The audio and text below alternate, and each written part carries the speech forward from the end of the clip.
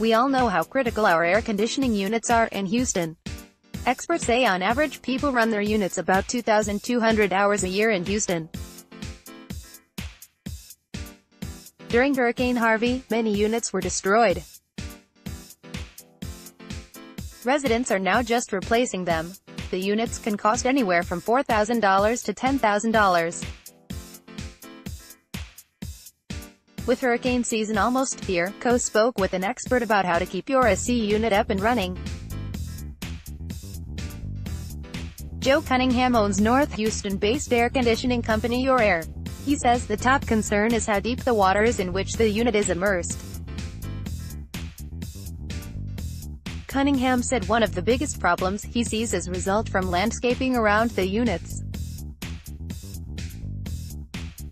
He says mulch might make it run less efficiently over time. They're actually creating a pond around the unit, so every time it rains, the bottom of the unit just gets surrounded in.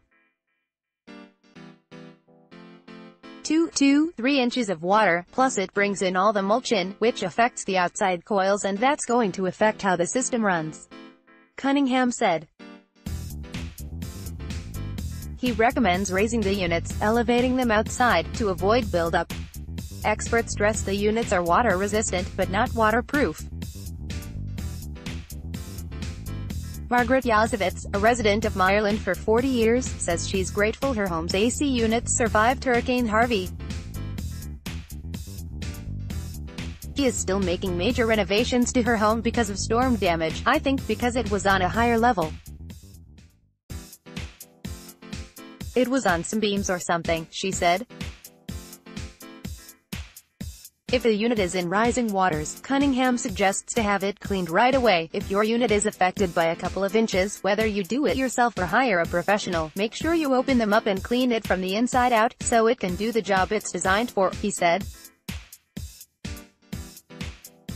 Cunningham says cleaning it from the inside out is crucial, because taking a hose and washing it from the outside can simply pour debris inside the unit.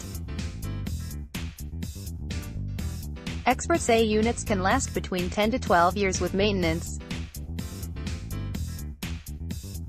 Copyright 2018 KHOU.